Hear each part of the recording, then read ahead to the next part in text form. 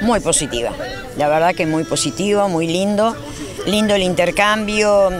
Eh, a ver, hubo cuadro acá, tú sabes que no se practica prácticamente el fútbol playa, no se practica y hubo gente de Montevideo, o sea, vino el club Albión, el Progreso, Malvin y se armó con ellos mismos un rejuntado para representar a Ciudad de Plata. También tuvo el torneo de básquet con gente de acá de la zona, con chicos de la zona del Club Playa Pascual. También estuvo los torneos de, de vole y también con dos representantes de la selección, que como creo que todos sabemos acá, tenemos varios representantes en lo que es voleibol en la selección uruguaya de voleibol. Eh, bueno, la verdad que la, jornada estuvo espectacular. Ahí está, esta es la primera etapa ¿no? de este parque costero. Bueno, para contarle a los vecinos cómo seguirán las obras y qué consiste la, segunda etapa justamente que tiene previsto aquí el municipio en el parque costero. La segunda etapa es una senda aeróbica, todo el entorno de, donde están las canchas, 450 metros de senda, y en la parte del frente sería la pista de sky. ¿De qué material va a ser la, pista, digamos? De bitumen. De bitumen. Esto es uno de los proyectos que, aprobó todo el municipio, ¿no? este, eh, cómo, cómo se enmarca, hoy estuvo también la representante de, de, la OPP, ¿no? Interiorizándose de todo el proyecto. Se hace con fondo fin, se hacen con los fondos de OPP se presentan los proyectos frente a OPP, si se aprueban, se llevan adelante. Y ahora nosotros para este año, 2022, lo que tenemos proyectado es la pista de skate.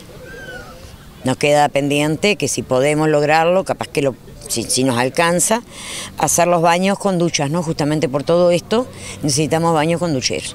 La directora de deporte destacaba, ¿no? Instalaciones como el caso de, la cancha de fútbol de arena y demás que, que no hay en otros lugares así permanente. Bueno, ya se han puesto en contacto para, para que estén actividades o ligas, como en este caso del fútbol playa, que puedan participar acá. Sí, estuvo con nosotros reunidos la Federación de Fútbol Playa este, y una de las cosas que nos decían justamente era eso, que se había hecho una cancha con las eh, medidas reglamentarias en los arcos y todo lo demás, eh, lo cual se puede jugar hasta campeonatos internacionales. Eh, ahora, dentro de unos días, empieza un campeonato de fútbol, voleibol, no sé cómo es que le llaman ellos, y están pidiendo justamente el espacio para hacer la segunda fecha de este campeonato nacional. O sea, también ya la liga hoy nos decían de que como esto tiene las medidas, la iluminación correcta, todo, porque es algo que nos quedó pendiente, no pudimos por semana de turismo terminar la iluminación de todas las canchas, pero sí quedó esta iluminada y parte de la de fútbol, nos queda voleibol. Este, que nos van a pedir la cancha para poder hacer los campeonatos de los torneos de verano. ¿no? ¿Cómo va a ser la gestión del espacio? ¿Abierto? Me imagino que en ese sentido pedirle a los vecinos que, cuiden el espacio, ¿cómo, ¿cómo se va a desarrollar? Exactamente. Va a ser eh, sí, abierto y bueno, abierto a todo público, obviamente, a no ser que tengamos algún torneo este, planificado o algo que, lo pidan. No se va a gestionar, sí se va a gestionar el mantenimiento desde el municipio. Después las actividades serán desde las instituciones que correspondan. Eh, nosotros, obviamente, dando una mano en todo lo que podamos, apoyando en todo lo que podamos, pero que da el espacio al público en general. Bueno, Marianita, ¿para cuándo se prevé que esté culminada la, segunda etapa? ¿Hay un plazo para, terminar, digamos, la obra en su totalidad? Antes de fin de año. O sea que para este verano, digamos, ya estaría pronto el Parque Costero. Y la senda. Ahí está. Sí, sí. O sea, para este verano estaría pronta la pista de skate, que se hace ya la segunda etapa. O sea, quedaría culminado el proyecto en su totalidad, como el proyecto del municipio. Sí, sí. Pero como siempre estamos agregándole otra cosita. Vas viendo, viste, y nos va gustando. Hoy estábamos hablando justamente de estaría bueno una cancha de bocha también agregarle. Eh, eso mismo espacio hay. Espacio hay, eh, exactamente. Eh, eso mismo digo, se va a ir adecuando, digo, de acuerdo a las necesidades y la requisitoria. Hasta ahora digo, ha sido un poco también a solicitud de los interesados, ¿no? Seguro. Sí, sí, sí, sí, obviamente. La solicitud de la, de la senda este, fue un grupo de muchachos que nos dijeron, y cuando hagan el parque costero, me presentaron, y no podrán hacerlo, sí, como no, podemos hacer una senda, se presentó en el consejo y se votó. Este, y se va agregando, obviamente, según las inquietudes de uno y de otro, y lo que practica uno u otro es lo que, lo que se va agregando. Como ser, hoy también me dijeron de hacer una cancha de tejo. Entonces, van bien, van apareciendo las cosas, por eso te digo, no sé si es la segunda etapa.